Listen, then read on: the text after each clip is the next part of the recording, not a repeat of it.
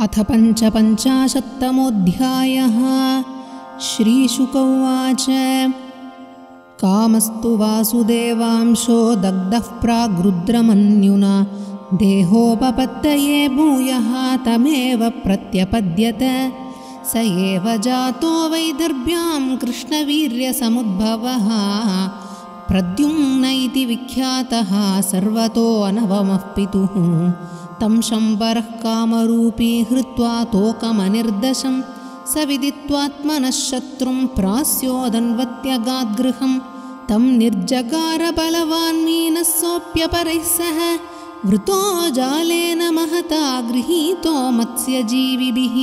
तं शम्बराय कैवर्ताः उपाजह्रुरुपायनं सूदामहानसं नीत्वा वद्यन् स्वधितिनाद्भुतं दृष्ट्वा तदुदरे बालं मायावत्यै न्यवेदयन्। नारदो कथयत् सर्वं तस्याः शङ्कितचेतसः बालस्य तत्त्वमुत्पत्तिं मत्स्योदरनिवेशनं। सा च कामस्य वै पत्नी रतिर्नाम यशस्विनी। पत्युर्निर्दग्धदेहस्य देहोत्पत्तिं प्रतीक्षति। निरूपिता शम्बरेण सा सूपौदनसाधने कामदेवं शिशुं बुद्ध्वा चक्रे स्नेहं तदार्भके नातिदीर्घेन कालेन सकार्ष्णीरूढयौवनः जनयामास नारीणां वीक्षन्तीनां च विभ्रमम्। सा तं पतिं पद्मदलायते क्षणं प्रलम्बबाहुं नरलोकसुन्दरं सव्रीडहासोत्तभितब्रुवेक्षति प्रीत्योपतस्ते रतिरङ्गसौरतैः तामाह भगवान् कार्ष्णिः मातस्ते मतिरन्यता मातृभावमतिक्रम्य वर्तसे कामिनी यथा रतिरुवाच भवान् नारायणसुतः शम्बरेणाहृतो गृहात् अहं तेऽधिकृता पत्नी रतिः कामो भवान् प्रभो एष त्वा निर्दशं सिन्धौ अक्षिपच्छम्बरोऽसुरः मत्स्योग्रसीत्तदुदरादिह प्राप्तो भवान् प्रभो तमिमं च हि दुर्दर्शं दुर्जयं शत्रुमात्मनः मायाशतविदं त्वं च मायाभिर्मोहनादिभिः परिशोचति ते माता कुररीव गतप्रजा पुत्रस्नेहाकुलादीना विवत्सा गौरिवातुरा। प्रभाष्यैवं ददौ विद्यां प्रद्युम्नाय महात्मने मायावती महामायां सर्वमायाविनाशिनीं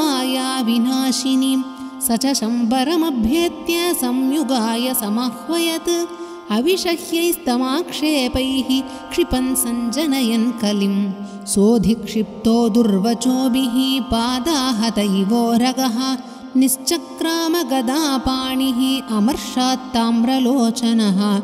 गदामाविध्यतरसा प्रद्युम्नाय महात्मने। प्रक्षिप्य व्यनदन्नादं वज्रनिष्पेषनिष्ठुरं।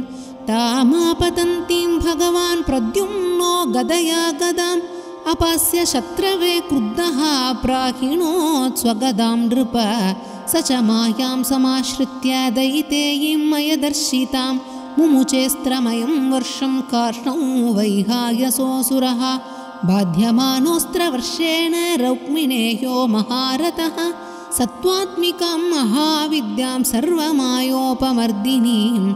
ततो गौह्यकगान्धर्वपैशाचोरगराक्षसीः प्रायुङ्क्तशतशो दैत्यः कार्ष्णिर्व्यधमयत्सताः निशातमसि मुद्यम्य स किरीटं सकुण्डलं शम्बरस्य शिरः कायात् ताम्रश्मश्रुवोजसाहरत् आकीर्यमाणो दिविजैः स्तुवद्भिः कुसुमोत्करैः भार्ययम्बरचारिण्या पुरं नीतो विहाय सा अन्तःपुरवरं राजन् ललनाशतसङ्कुलं विवेशपत्न्या गगनात् विद्युतेव बलाहकः तं दृष्ट्वा जलदश्यामं पीतकौशेयवाससं प्रलम्बबाहुं ताम्राक्षं सुस्मितं रुचिराननं स्वलङ्कृतमुखाम्बोजं नीलवक्रालकालिभिः कृष्णं मत्वा स्त्रियो ह्रीताः निलिल्युस्तत्र तत्र अवधार्य शनैरीषत्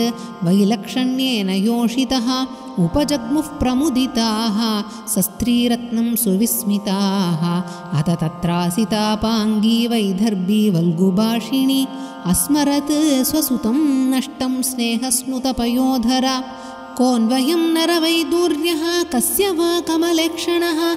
धृतः कया वा जठरे केयं लब्धा त्वनेन वा? मम चाप्यात्मजो नष्टो नीतो यः सूतिका गृहात् एतत्तुल्यवयो रूपो यदि जीवति कुत्रचित्? कथं त्वनेन सम्प्राप्तं सारूप्यं शार्गदन्वनः? आकृत्यावयवैर्गत्या स्वरहासावलोकनैः स एव वा भवेन्नूनं यो मे गर्भे धृतोर्बकः। अमुष्मिन् प्रीतिरधिका वामस्फुरति मे भुजः। एवं मीमां समानायां वैदर्भ्यां देवकीसुतः। देवक्यानकदुन्दुभ्याम् उत्तमश्लोक आगमत् विज्ञातार्थोऽपि भगवान् तूष्णीमास जनार्दनः नारदो कथयत् सर्वं शम्बराहरणादिकं तच्छ्रुत्वा महदाश्चर्यं कृष्णान्तः पुरयोषितः अभ्यनन्दन् बहूनब्दान् नष्टं मृतमिवागतं देवकी वसुदेवश्च कृष्णरामौ तथा स्त्रियः दम्पती तौ परिष्वज्य रुक्मिणी च ययुर्मुदं नष्टं प्रद्युम्नमायातम् आकर्ण्यद्वारकौकसः अहो मृत इवायातो बालो दिष्टेति हा ब्रुवन् यं वै मुहुः पितृस्वरूपनिजेशभावाः तन्मातरो यदभजन् रहरूढभावाः चित्रं न तत्खलु रमास्पदबिम्बबिम्बे कामे स्मरेक्षिविषये किमुतान्यनार्यः। इति श्रीमद्भागवते महापुराणे पारमहंस्यां संहितायां दशमस्कन्धे उत्तरार्धे प्रद्युम्नोत्पत्तिनिरूपणं नाम पञ्चपञ्चाशत्तमोऽध्यायः। श्रीहरये नमः श्रीहरये नमः श्रीहरये नमः गोपिकाजीवनस्मरणं गोविन्दा गोविन्द प्रेमिकेन्द्र सद्गुरुनाथ महाराज की जय